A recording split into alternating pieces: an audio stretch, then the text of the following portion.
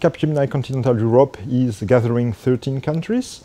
We have a scope of delivery of more than 2,000 projects in responsibility uh, that we deliver for more than 800 customers. And uh, we are gathering around 25,000 people. Uh, most of them are onshore countries, based in onshore countries. And a third is already in nearshore centers or offshore centers such as India, Morocco or Poland.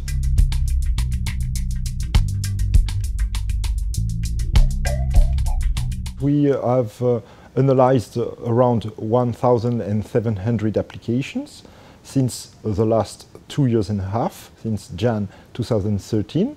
Uh, we've made uh, around 3,000 scans of these applications, and uh, we have uh, around uh, a level of uh, 60 million lines of code analyzed per month.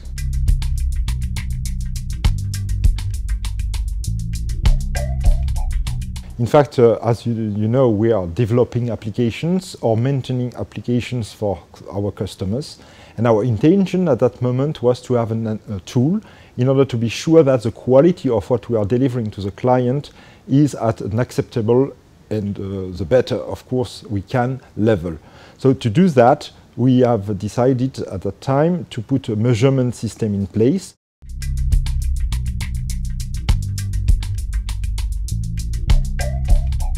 The life cycle of a project started with a client who asked us, for example, to take in maintenance a part of his assets.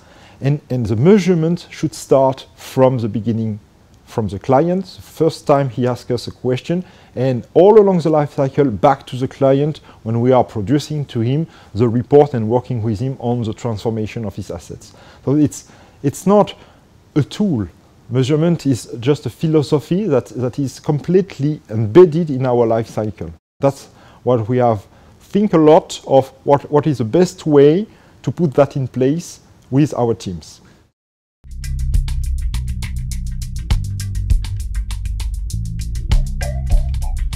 So the benefits are coming from uh, many places, but the main one, if we just took the basic needs of measuring the quality of the code, is to be able to reduce the production cost. How? When you measure the quality of a piece of code, you detect violations, errors, or whatever. The earlier you are able to correct them or to give the people the best guideline in order not to reproduce these errors or, uh, um, or bugs, the, the best you will be in not generating bugs. So you avoid a lot of corrections, you avoid a lot of uh, uh, work during the uh, after phase, after the development phase, when you are in the validation phase or before releasing to the client. And, and the benefits, the real benefits uh, in terms of workload is coming from that. But there are other benefits that are not at all linked with the code, is how to get a people on board on a very complex engagement of multiple applications. The, the, the, the people needs to know in order to be good in making some intervention, corrective or, or preventive on, on the assets. So to, to be able to uh, be efficient during the transition, you need to have a cartography of uh, the uh, scope you are maintaining. You need to, to, be able to explain the people what are the good rules to follow in order not to inject new bugs or new violations in the system. And for that, the, the tool, the measurement tool is really critical.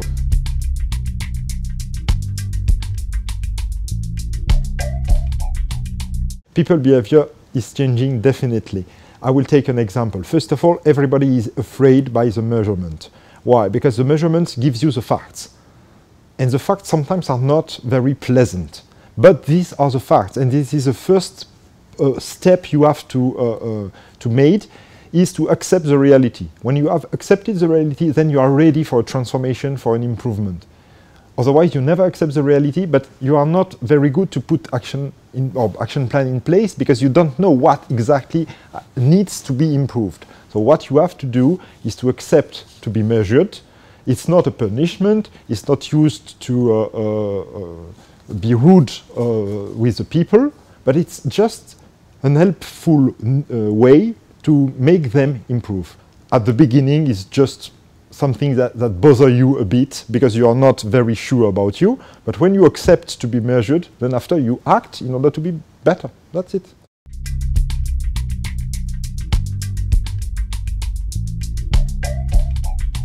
What we can observe is that first, you generate more revenue when the client is aware about measurement.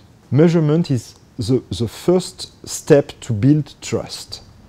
And trust is a key essential element of our business. So when you make some measurement in transparency, you share that with the client. So he knows what you are doing, he knows what he is giving to you in maintenance, everything is clear. And then you can uh, think about improvement plan.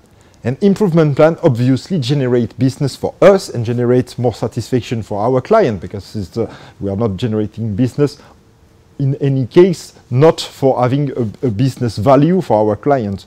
So it's a win-win situation. I accept to, to, to, enter this measurement system. For the client, he will get more quality, he will get a, a, real focus of his investment in order to transform his assets. And for us, it generates more business. It's a really a win-win situation.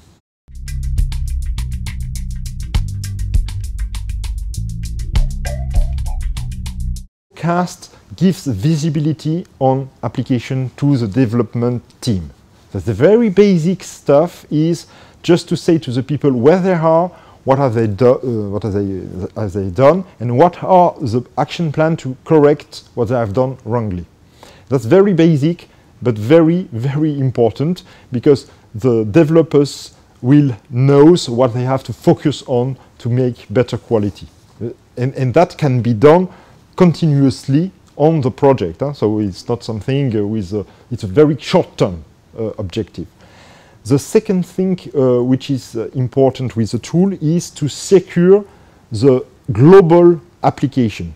What I meant here is you not only have to monitor the quality of what you commit in your continuous integration, you have to secure globally the risk of your system, your applications through the layers, through the architectures, the different uh, layers of archi architectures, so the different application. And CAST here is a tool that allows you to have a good knowledge of how all is interacting between your application, meaning in terms of perform global performance, security, and so on and so forth. So that's the second very important aspect of the tool. And the last thing, the third thing about uh, the tool itself is to build trust with our customer. It's very important that everyone is at ease with what the, the tool is telling us. The tool is telling us some facts.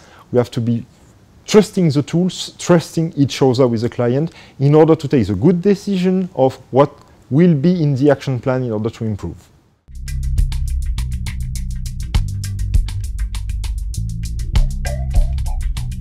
Internally, it's for us to uh, mean to enhance productivity for our team. When you put measured on the table, as I said, people will naturally fight to reach the measured, the levels, the benchmark, the whatever you, you call that, Be because it gives us a status of where they are and where we want them to be. So it, uh, it uh, drives productivity, it, it, it focuses energy in order to correct that. Then measurement also force you to adapt your organization and for us, it was quite important because we have a, a delivery, distributed delivery organization. So we need to keep the measurement done by a team which is apart from the project. It's not done inside the project, but we need to apply the action plan really on the field. So we need to keep the proximity. So for us, it, uh, it, it was a, a, good thing to put measurement in place because it has changed a bit the way we are organizing delivery. What, what is very important in delivery is also the, the way you control that you are uh, against your own rule you are performing.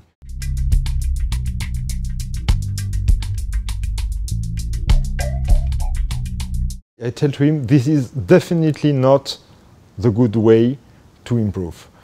you have to put the spotlight on what you have because what you have is your history, is not related to your people, not related to your role, it's just the fact. and the fact must be on the sun, on the spotlight, under the spotlight. When, when you have make your baseline, then you will take decision, and that is your part and your role, and, and what you will make a mark on your company is by your decision, not, not because of the past. So make your decision and make them uh, uh wisely, knowing what is in, rather than not knowing what is in. Just look the future, you have decision to make, uh, and make, to make the best decision where you're going to put your investment for the next six months is a question of importance. If you don't know what, what are the weakness parts of your uh, IT uh, assets, you will choose to spread them all over, the, spread the investment yeah. all over the place, and this is not surely the right thing to do.